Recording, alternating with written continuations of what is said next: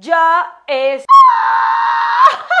viernes. ¡Viva México! El día de hoy vamos a celebrar a México. Y tal vez ustedes digan, ¡Ay, Sandy! ¿Por qué vamos a celebrar a México? ¿Qué vamos a celebrar? La corrupción, la inseguridad, el machismo. ¿Qué vamos a celebrar, Sandy? Y yo les digo que sí, hay cosas malas como en todas partes. No, nadie es perfecto. Lo siento, perdón. Sí, yo sé, yo sé que México tiene problemas, como todos los países. Pero también México, ah, mi México lindo y querido, aparte de lindo y querido, es hermoso. Así que aquí te van 10 razones por las cuales México es chingón. Número 1. La gastronomía mexicana es la más destacada del mundo.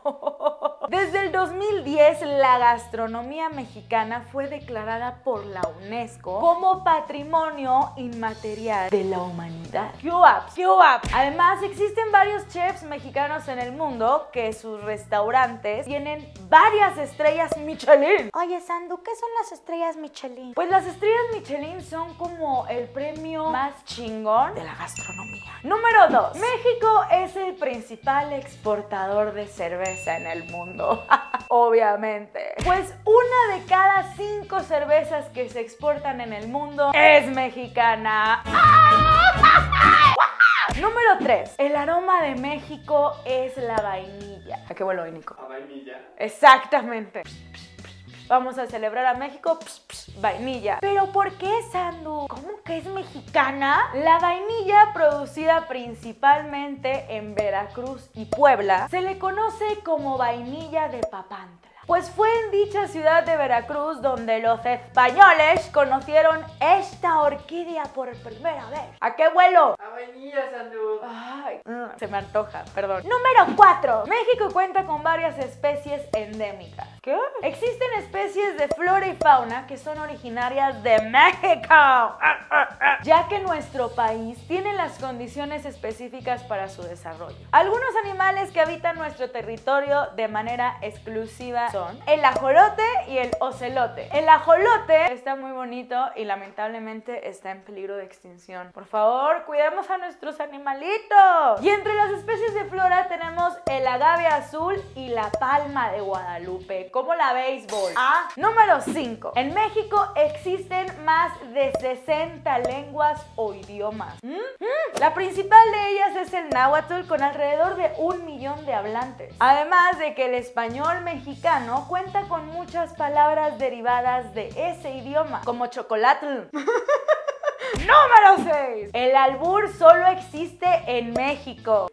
Se trata de un juego de palabras con doble sentido relacionadas a lo sexual. Se distingue de otros juegos similares porque es el enfrentamiento verbal entre dos personas. Tiene antecedentes prehispánicos y así como se le identifica como una forma de ingenio característica de la cultura mexicana, obviamente también se le ha criticado por cuestiones machistas y sexistas. Aunque una de las principales exponentes sea una mujer conocida como la reina del albur ver si ya te vienes.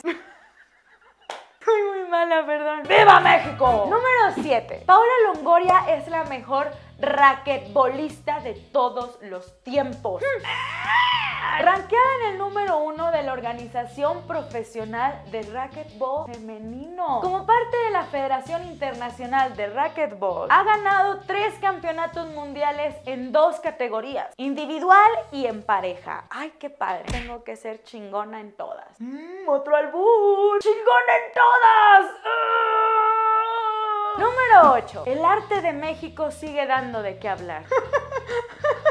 Alrededor conocen a Frida Kahlo o a Diego Rivera. Pero si de arte contemporáneo se trata, los mexicanos siguen destacándose en el extranjero, con exposiciones en los museos más prestigiados a nivel internacional, como el veracruzano Gabriel Orozco o Minerva Cuevas de la Ciudad de México. Número 9. Tenemos unos chiles que se consideran 100% mexicanos. El primero de ellos se le conoce como chile habanero y viene de la península de Yucatán. Por años fue considerado el más picante. El otro ejemplo es el chile de árbol que se produce en una zona llamada Yahualica. El poder de la mente, ¿eh? ya me picó. Y como chiles destacados, también tenemos el chile de Sague, el de David Cepeda, y el del hijo de Bárbara Mori, que la verdad son unos chiles muy increíbles. Número 10. ¿El chocolate es mexicano? Hay algunas polémicas de que si el chocolate nació o no en el México prehispánico. Pero es un hecho que el cacao, que es una semilla con la cual se elabora cualquier tipo de chocolate, se ha cultivado en muchas culturas mesoamericanas desde hace mucho tiempo atrás. Y que los olmecas fueron los primeros en cultivar esta semilla y degustarla como bebida. ¡Ah!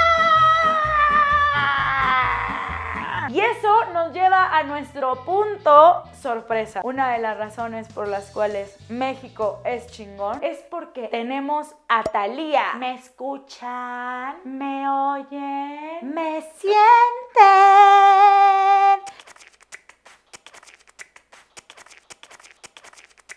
Talia es nuestra Kim Kardashian. Tiene su línea de ropa, tiene su maquillaje, está casada con Tommy Motola y vive en Manhattan. Una mexicana exitosa, chingona y sobre todo orgullosa de ser Marimar. ¡Au! Costeñita soy. Y pues estas fueron las razones por las cuales hay que celebrar a México. ¡Viva México, amigos! Por favor, dejen aquí en los comentarios otras razones por las cuales hay que celebrar a México. Y también, por favor, compártanme gente excepcional. Gente que ustedes digan qué chingón tener a este amigo mexicano. Porque es una chingonería. Muchas gracias por ver este video. Espero que les haya gustado. Si les gustó, denle un dedo arriba. Y si no, no quiero sus dislikes. No, los amo como una canción de amor, bebé. Y yo los estaría viendo tal vez el próximo mm, viernes. ¡Viva México! ¡Ah! ¡Ay! ¡Adiós! El arte de México sigue dando de qué hablar.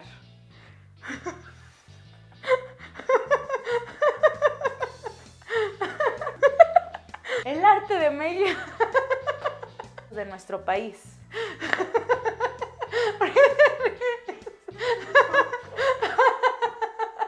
Es que fue tan natural. Que la risa y que la risa con el cactus. Nico está teniendo un ataque de risa por el cactus artístico.